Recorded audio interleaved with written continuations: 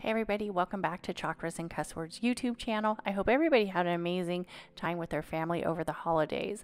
The day after Thanksgiving was literally my son's 21st birthday, so we decided to grab the family and head out to Las Vegas so we could really have fun celebrating his 21st birthday. I just want to say we had such a great time. One of the things I did notice about Vegas is it seems like a lot of families are actually out there. A lot of people are taking their young kids out there to kind of see the Vegas attraction and do all the Vegas touristy things, which, in all honesty, I think is a great idea. Vegas is affordable, it's close, especially if you are in California, and there's a lot to do. Like there's, there's also shopping, restaurants, and attractions.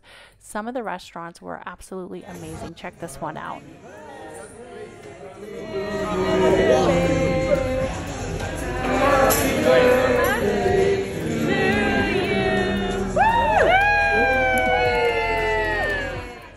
My son literally had the best time. He actually won like $300.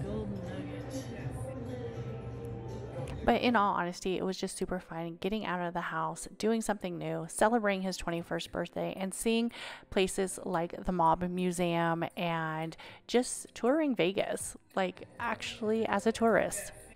And just remember, Vegas is Vegas. You gotta let your hair down, enjoy time with friends, get loose, and enjoy a good beer.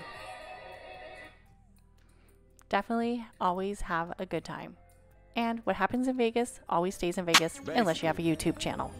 This out of girl,